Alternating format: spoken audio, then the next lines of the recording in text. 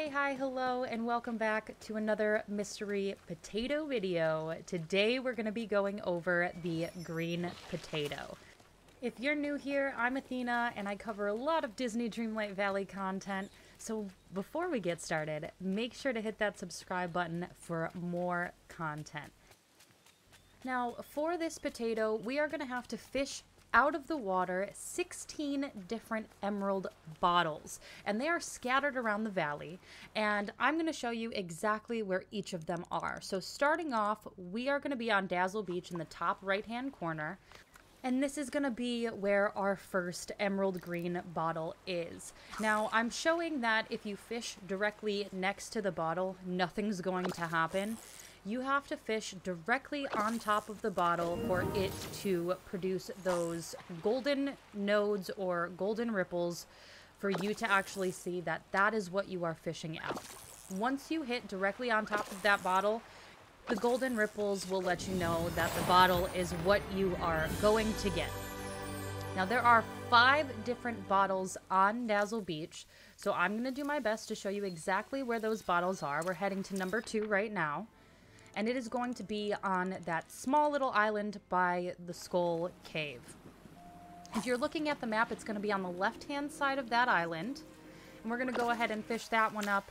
And then the second one on the island is on the opposite side, on the right-hand side of that island, kind of in front of the Skull Cave. So now heading to number four for Dazzle Beach, it is going to be on the bridge that crosses from one side of the beach to the other, and you can fish this bottle out from the bridge itself, so don't worry about trying to go around your decorations. For number five, it's going to be all the way on the left-hand side of Dazzle Beach, and just go ahead and fish out number five. For number six, we are going to head to the Glade, and it is going to be in one of the ponds. And then number seven is going to be in the river that is kind of directly in front of Mother Gothel's house, but close to the very bottom bridge on the map.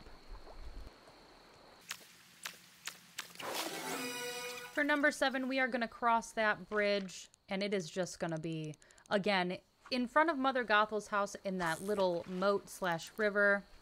And again, you're going to have to hit directly on top of those bottles in order to get them, or else it's not going to work.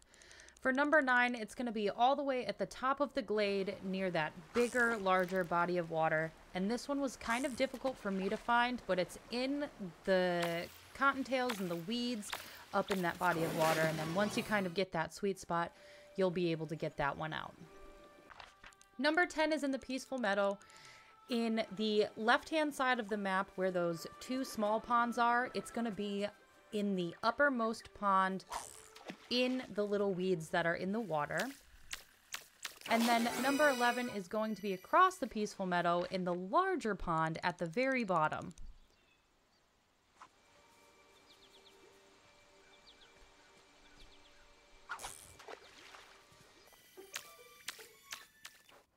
For number 12, we are going to head up to the Sunlit Plateau, and it is going to be in the river that snakes around the middle, and it's going to be at one of those tip points, kind of in the middle of the river.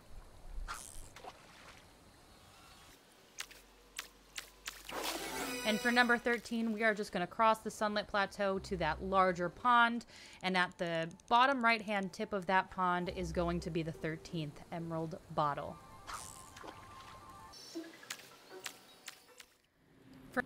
For number 14, head up to the Forgotten Lands. In the pond that is in the top left corner of the biome, you are going to find the 14th Emerald Bottle. There was already a golden ripple there, but it ended up giving me the bottle instead of the fish, so I feel like I kind of lucked out. For number 15, we are going to be in the forest next to Elsa's cave. And that one, I had to work around my decorations, but we made it work. And then last but not least, for number 16, head up to the Frosted Heights. The last bottle is going to be located in between both bridges. And there you have it. That's all of the bottles. So now what you need to do is you need to go ahead and open up every single emerald green bottle that you fished out, and it's going to give you an emerald sliver. You need all 16 of these emerald slivers in order to continue to the next step. So go ahead and open all of these bottles. I ended up doing them all at the same time, but if you want to open them as you're catching them, feel free to do that. It might save a little bit of time. Head to your crafting station, go to functional items, and you're going to want to craft this jade crystal. So as I said before, this is going to require all 16 of those emerald slivers, and we're going to need to go ahead and craft that. Once you've crafted that, head into the mines in the Sunlit Plateau and go into that secret room that got introduced to us during one of Simba's quests. And there's going to be a shelf that has this green orb on it, and you're going to have to go ahead and interact with that. It's going to drop something for you, and it's actually going to be these kind of green looking jelly bean seeds. In order to plant these seeds, you can only do that in the Forgotten Lands. Head up to the Forgotten Lands, plant those seeds, and then you have to wait for it to grow. I ended up crafting a growth elixir in order to make that time go by faster. So before you water your seed, make sure to make that elixir if you don't want to wait for it to grow. Use that elixir on your watering can and then water that green seed and it will automatically be ready to harvest. Go ahead and harvest the seed. It's gonna produce a green potato. So there it is. We finally have the potato that we were waiting for. Head back to the crafting station, go to potions and enchantments, and it will allow you to craft the crystalline green potion. Now that we have the green potion, I don't know what to do with it. We're just going to put it in our inventory until we know exactly what to do with all of these.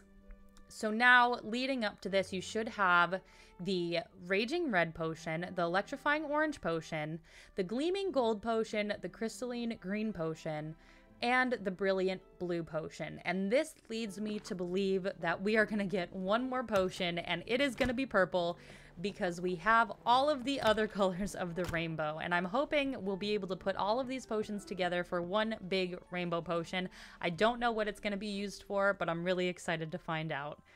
If this video helped you today, make sure to like, comment, and subscribe, and be on the lookout for the next mystery potato video, because that will be coming out very, very soon. Take care.